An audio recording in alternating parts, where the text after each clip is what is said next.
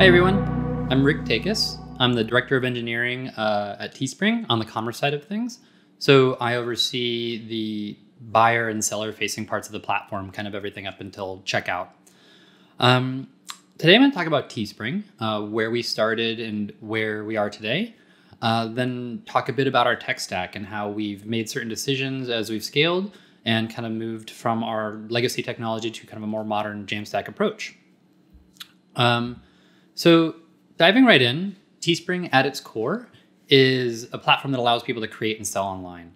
Um, it was conceived of to kind of break down some of the barriers to entry around doing this. So things like sourcing the the blank products, getting them printed, and then actually fulfilling them. To, so we really want to allow people to focus on the design and marketing of their their products uh, rather than all the kind of logistics around it. Um, so this idea was developed, and we were accepted into Y Combinator. Uh, so that was great, and that really jump started the business. So if we skip forward seven years to today, um, we now have over a million visitors to our site per day, and we've hit more than two and a half years of profitability. So that's that's great, kind of in the the Bay Area to go from Y Combinator profitable. Not always kind of the the normal story. Um, so the reason we reached this level of success is because we've really found our product market fit, um, and for that has for us, that has been helping people build their own brands and build their own businesses. So, an example of how we enable that is if you look at our partnership with YouTube and our partnership with the creators on YouTube. Um, historically, creators would have to, you know, generate all their great content, go and try to get as many subscribers as possible, and then turn on ads to monetize their channel. Um, well, we provide another avenue to do that that we think is better because they hang on to more of the, the revenue when they're selling their own merchandise. And it actually furthers fan engagement. They're advertising their own brand and their own products rather than somebody else's product. Um, and it's just been a really great partnership for us uh, with the creators and, and and teespring. And it's just really kind of skyrocketed our business and their business at the same time. Um, so let's get into the good stuff and talk about the evolution of our tech stack. So when we started um, we had a Ruby on Rails monolith in a mono repo. Um, this was great at the beginning because it allowed us, with very few engineers, to kind of pivot quickly, try a lot of different things, kind of build new features very quickly, um, and kind of figure out, you know, find our stride as a company. Um, now, as you can imagine, that doesn't scale super well. So as we've kind of found our product market fit and started to scale, this code base has just become really bloated. We have multiple frameworks and apps living in there. So we have, you know, Backbone, React, we have ERB templates, we have jQuery kind of sitting on top of all of that, making changes after things are rendered. Um, but on top of that, we also have just a lot of different domains kind of crossing paths here. We have storefronts, checkout, shopping cart, fulfillment, all intertwined in a single repo and a single app, um, which makes it difficult to iterate quickly. And it also brings up kind of unforeseen bugs. We make a change to one part of the code base and it affects something else. We might make a change to storefronts and it affects fulfillment, which just isn't great. So we decided to pull this apart. So if you follow the industry, you know, two and a half, three years ago, everyone was like, microservice everything.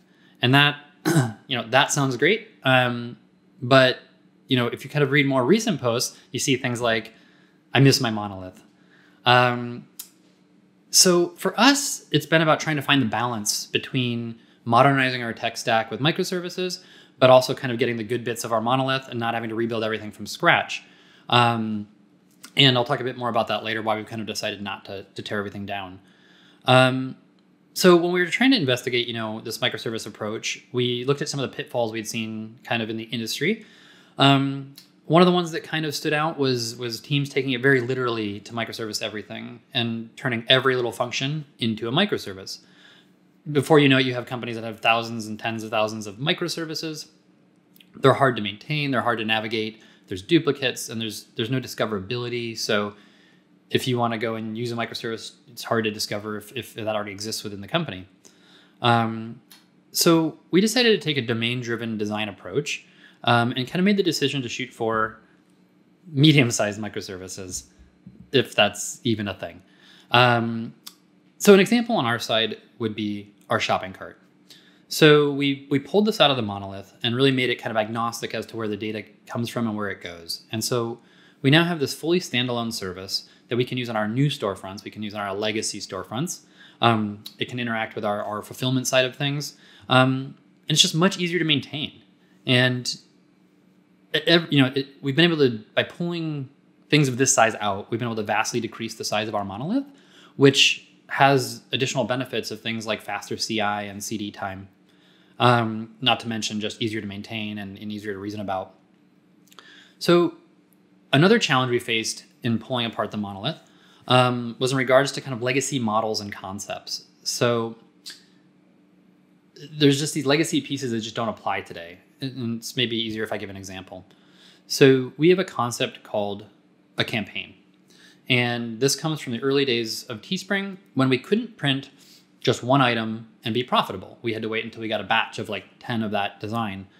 Um, so we had this concept of a campaign, and everything in Teespring is a campaign, where we would check and say, you know, see if we had hit that 10 item mark. And if not, we would restart the campaign. We'd keep those additional, those initial orders and we'd keep restarting until we hit that limit of 10. And then we'd send it off to print, clear out the campaign, and then let it run again. Um, this just isn't the reality of, of Teespring today. We can print one item and be profitable. And so it's been really difficult to have to kind of work within this this concept and model when it doesn't doesn't reflect Teespring today. So how do we handle reducing, you know, this this idea? Um, so first we went back to the whiteboard and said, you know, if we had our ideal API today, what would it look like? So kind of just started pulling apart all the different concepts in Teespring and saying like, if we were to make this more modern, what does that look like? Um, and each step of the way, each time we designed part of that data structure, we would ask ourselves, if we were to open this up publicly today, externally, um, would it be sensible? Would people be people be able to build meaningful products on top of that? And would it just make sense? Um, and that was really our gut check to kind of say like let's make sure we're not surfacing these concepts kind of in our forward thinking um, kind of new api um, so once we had that roadmap of like this is the ideal place we want to get to you know how did we go ahead and actually start doing that so we took this approach um, of kind of an adapter pattern um, so we proxy all of the api responses from our rails code base through API Gateway. It then takes uh, that kind of legacy shape and passes it through what we call an adapter, which is just a Lambda function that converts that shape to our more modern ideal shape and then surfaces it out to kind of whatever was requesting that data. So what this really allowed us to do, first of all, of all is design our ideal API, have it documented, versioned, and modern, um, and reflect the modern state of Teespring, um, but it also gave us the flexibility to now go back and refactor some of these concepts in our Rails app and start pulling them out without having to worry about every time we make an API change, then going to all of these different apps that consume it and having to update all of them at the same time. So now we only have to update that Lambda, that adapter. So if we make a change on the Rails side to remove something like campaign, we edit the adapter and everything else just keeps working as long as we keep that handshake the same. And because we now have this versioned API, if we were to make a change, we can roll out a V2 and then go and at our leisure update the apps to start consuming that. Um, so this has really given us a lot of flexibility to kind of pull apart our monolith without having to completely tear it down. So I want to talk about another area that this has really served us well. So in working with our partners, um, each one of them kind of has different requirements for how we send products. So we we found that we were generating a product feed for each of our sellers and then sending it out to YouTube or Twitch. Um, and when we first started partnering up like this, we um, were building integrations kind of specifically for each partner. And it just seemed like a lot of repeated work. So we ended up coming up with this concept of a generic feed generator. So it generates a product feed for an individual seller. And then similarly, we run it through API Gateway and then through a Lambda that is an adapter for that specific partner. So we have a Twitch adapter and it just reshapes our data for Twitch or for YouTube or for whatever. And again, this has just been really successful for us because if YouTube or Twitch changes their API or we change our API, we just need to edit that adapter to make that update. Um, and, and that works really well. Similarly, when we, after we push product data out, we then have to go and retrieve orders from our partners. And we follow the same pattern. We have a generic order importer. When the data comes in, we convert it from Twitch to our generic shape, and then we can process those orders and we can send a response back out through an adapter as well. Um, again, this has just worked really well for us and allowed us to onboard additional partners super fast because we just add an adapter in the places that they need them and we're good to go. Um, so why not start from scratch? Um, I, I think as engineers, it's, it's always kind of a, an instinct to just start from scratch with the latest and greatest technology, kind of tear everything down and redesign it. Um, but I think there's there's risks in doing this. So one being, you know, we have systems that have been deployed and in production for for seven plus years, and so they're kind of proven and stable. And over the years, we found lots of bugs, lots of edge cases, um, and fixed those. And so I think to to imagine that we could go out and just start from scratch and address all those on our first try is unlikely. So there's risks in introducing new bugs or solved edge cases um, and kind of like repeating those mistakes. Um, the second part is it comes at the cost of new feature development. So we want to keep moving forward and, and, pushing out new features for our, our sellers and, and buyers. Um, and if we step back and said we're going to rebuild our monolith, um, we would be sacrificing many of those new features because we, we you know we're still a small team a relatively small team and um, you know it would take us a year plus to rebuild everything and we would just not be able to roll out our new features that we want to. And so i think that was a trade-off that we just weren't willing to make. Um, but by wrapping our our old code, code base in this kind of fence of the api gateway and adapters it allows us to build modern apps on top of our legacy platform. So here's in a nutshell what our, our architecture looks like today. So as we talk, talked about, um, we got our Rails monolith, which handles most, most of our data. That goes through API gateway and either hits a, a Lambda and then kind of out to our, our front end apps or our partners. In this same kind of bucket is where our microservices live. So we've got our shopping cart, checkout, things like that.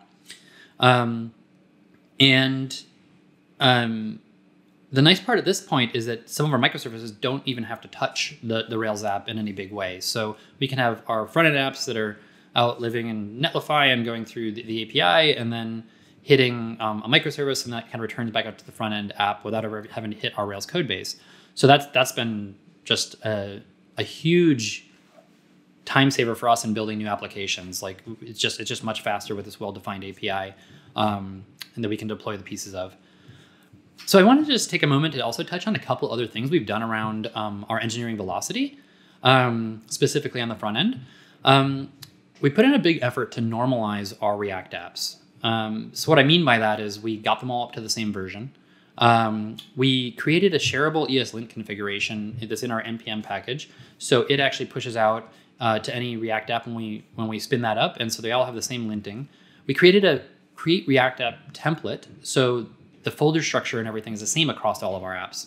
Um, and this is kind of in response to we had many React apps, and some of them were using TypeScript, some of them using immutable, some of them were kind of in all different shapes, Redux or not Redux. Um, and so we kind of just put down on paper our, our, best practices and then made a starting point for that and got all the apps up to that. And the reason we did this is because there was a big lag time when context switching from one app to the next for our engineers. So now, when you jump from React app to React app, it's very familiar. You know kind of where everything is. So that's been a really big productivity boost for us. Um, the last piece I'll mention is we've Uh, pretty successfully implemented a component library that's shared across these apps. So in designing this, we kind of had a couple of goals. One is to define, define the kind of most basic component that we wanted to share between the apps. So let's say a dropdown. And that'll have minimal styling. The only amount of styling there is to lay it out and make it functional.